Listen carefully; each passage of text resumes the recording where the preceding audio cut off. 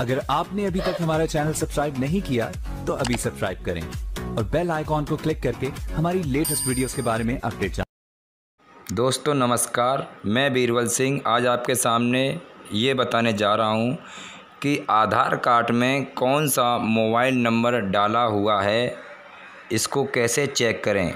तो बिना time waste किए आइए, वीडियो को आगे करते हैं। धन्यवाद। दोस्तों, सबसे पहले गूगल को ओपन करेंगे सर्च करेंगे यू आई डी और आपके सामने इस तरह का लिंक आ जाएगा। यू आई डी को क्लिक करोगे।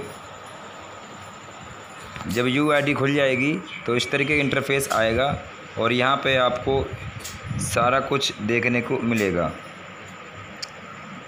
देखिए, ये आपका आधार की वेबसाइट खुल खुल गई है और इसको हम नीचे को चलते हुए आइए जानते हैं अपडेट आधार और उसके नीचे जब जाओगे तो आपको नज़र आएगा कि नीचे जाते हुए आधार सर्विस। तो आधार सर्विस आपने देख रखा है, इसमें बहुत सारे ऑप्शन दिए हैं verify and Aadhaar verify email address जो भी कुछ आपको क्या चेक करना है मोबाइल तो हमें mobile number another number पर क्लिक करके नहीं, और अपना आधार नंबर डालेंगे हम इसमें। तो आइए देखते हैं। ये हम नीचे गए।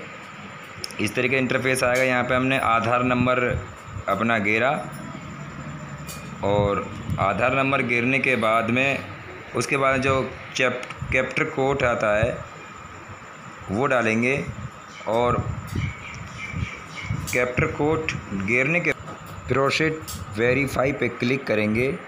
और प्रोसीड टू वेरीफाई पे क्लिक करने के बाद में आपको एक मिनट में ही पता लग जाएगा कि हमारा कौन सा मोबाइल नंबर गिरा हुआ है। देखिए दोस्तों, ऊपर आधार नंबर है, जो आपके सामने शो कर रहा है, और उसी का मोबाइल नंबर नीचे दिया हुआ है।